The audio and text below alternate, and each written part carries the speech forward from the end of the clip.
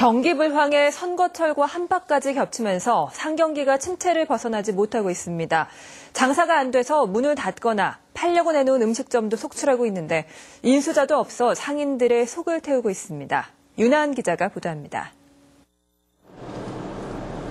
원주 단계 택지 상가.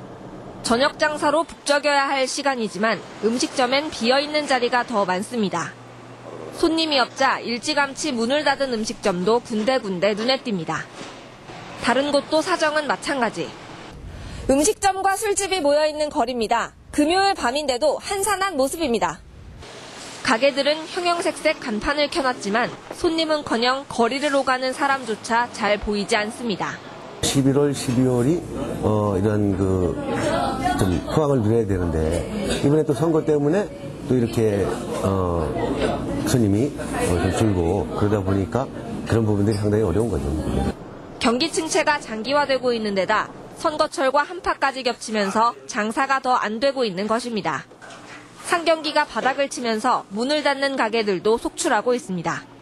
실제 올 한 해 원주 지역에서만 음식점 312곳이 경기 불황을 버티지 못하고 폐업했습니다. 상가마다 가게를 내놓는 매물이 쏟아져 나오고 있지만 인수자가 없어 월세를 꼬박꼬박 내면서 마지못해 문을 열고 있는 음식점도 한두 곳이 아닙니다.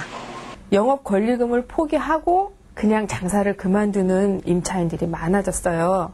그러다 보니 그 건물 임대인들은 공실로 몇 달 놔두는 것보다는 싸게라도 상인들은 선거가 끝난 뒤 송년회 모임이 시작되면서 연말 특수를 기대해보지만 한 해를 넘길 수 있을지 깊은 시름에 빠졌습니다. MBC 뉴스 윤하은입니다.